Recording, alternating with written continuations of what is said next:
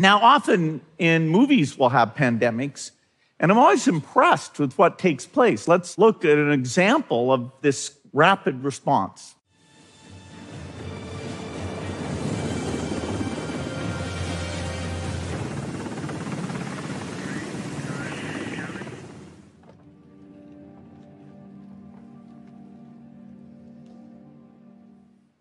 Well, that's quite impressive. We don't need the music, but otherwise, we saw exactly what should happen.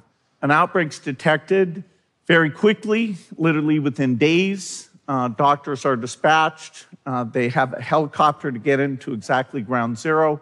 Uh, they go in there and they, they've got the right tools. And this is what should happen when an outbreak is spotted. But we don't have that team. We don't have those resources. And if, if an outbreak took place in a low income country, it could be literally months before we started to orchestrate those resources. So, despite what you see in movies, there is no group of experts standing by to prevent this disaster. So, we have to create a new team. I believe we should create what I call the GERM team. Uh, GERM stands for Global Epidemic Response and Mobilization. This group is full time. Their only priority is pandemic prevention. The cost of this team is significant. It's over a billion a year uh, to support the 3,000 people who would be on this team. And its mission is to stop outbreaks before they become pandemics. And so, for all of this, the first 100 days are key.